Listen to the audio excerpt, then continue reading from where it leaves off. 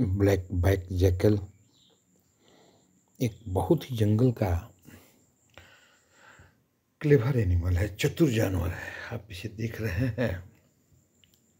और ये छोटे छोटे जानवरों का, रेबिट का, बर्ड्स का और फॉक्स का शिकार भी करता है। ये अक्सर आप कह सकते हैं जंगल में कोई जानवर अगर कम घने जंगल हैं तो कोई मिले ना मिले ये ब्लैक बैक जैकल ज़रूर मिलेगा। किसानों के खेतों में भी, मेढ़ों में भी ये छिप के रहने वाला ये जानवर। धान के खेतों में तो बैठ कर के धान की फ़सल भी बर्बाद कर देता है। आप आप इसको देख रहे हैं। किस तरह से ये जानवर अपनी खुशियाँ लिए हुए ये ज़िंदगी जीता है?